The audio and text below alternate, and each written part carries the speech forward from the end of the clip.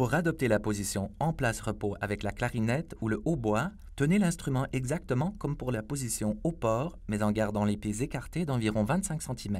Tenez l'instrument de la main gauche par le pavillon, de façon à ce qu'il s'appuie sur votre corps. Pour cela, votre bras est placé légèrement vers l'avant. Pour adopter la position repos, avancez les bras et saisissez votre poignet gauche avec la main droite. Tenez l'instrument par le pavillon qui s'appuie sur votre bras. Pour adopter la position au port, tenez l'instrument dans la main gauche par le pavillon, de façon à ce qu'il s'appuie sur votre corps. Pour cela, votre bras est placé légèrement vers l'avant.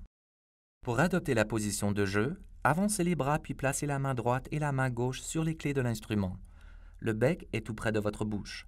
L'autre extrémité de l'instrument pointe vers le bas, de façon à former un angle aigu avec votre corps.